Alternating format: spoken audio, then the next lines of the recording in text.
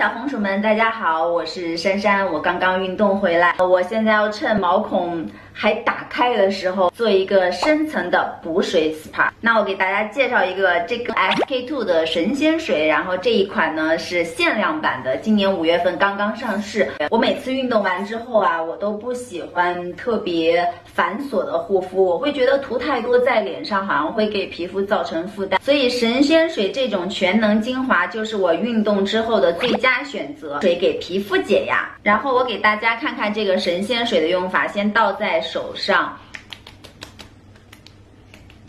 然后就是这样拍在脸上。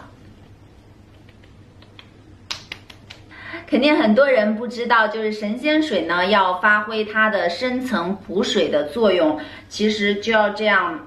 在脸上拍拍拍拍三次。